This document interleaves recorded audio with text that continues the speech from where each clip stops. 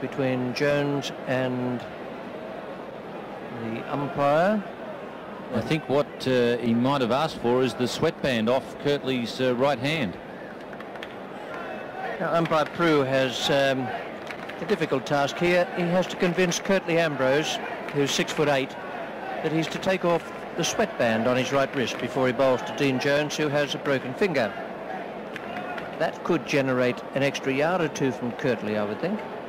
The thing about it is that if the batsman wants something to be taken from the bowler's hand or arm, then it's well within his rights to ask for it, and the bowler should comply with it because it will catch in the bowler's eye as uh, catch in the batsman's eye as the uh, bowler's arm comes over.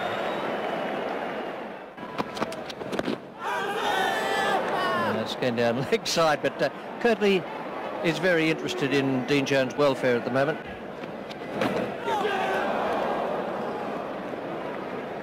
Taylor is to face Curtly Ambrose now, still steaming in. That's in here as well. It should be out. Simmons. And he did well. Didn't he do well? Phil Simmons' feet went just as he was about to catch that ball. And he managed to keep his balance, keep his eye on the ball. And another very good delivery from Curtly Ambrose. This time does see the end of Mark Taylor. Yes, it uh, was a very good catch at the end because uh, he did slip. Watch this ball go up in the air. Try to hit on the leg side. Now just watch Simmons' feet here. Just slips, nearly fell over, and he recovered brilliantly.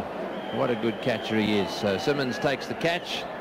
So that's the end of Taylor. It's two for 48. That's, a chance and down.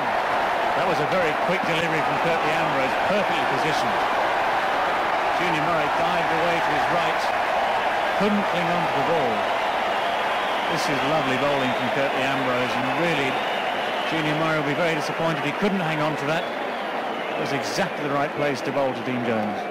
Yes, he's a tremendous bowler.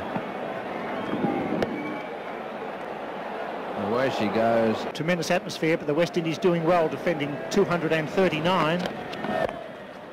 Conway does well, but he's out, straight down the throat. Brian Lara chipped that nicely, but didn't get it fine enough. And takes the catch. The eighth Australian wicket is down for 187. Dodemaide annoyed with himself.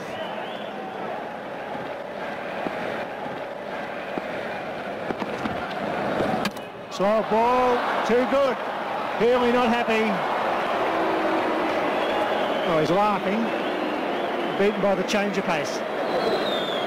Curtly's very impressed with that one. He likes that.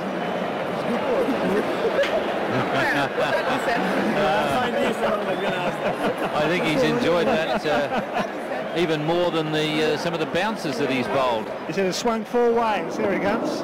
Whoops in the scene going. Oh, beating for change of pace. Over goes Healy in. Healy also with a sense of humour. Clean bowled by a slow ball from Curtly Ambrose. It's 9 for 214.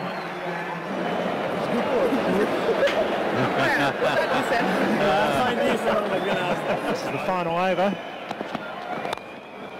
Goes in the air, he's got five, Simmons will catch it. Yes, a great performance by the big man.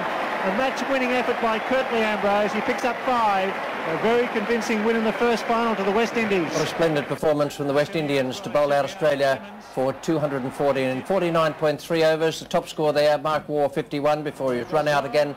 Allan Border 27 and Ian Healy 33. 214 for Australia and the bowling figures for the West Indies. Well, that gives you a good indication of what a tremendous performer Curtly Ambrose is. 9.3 overs, two maidens, 5 for 32.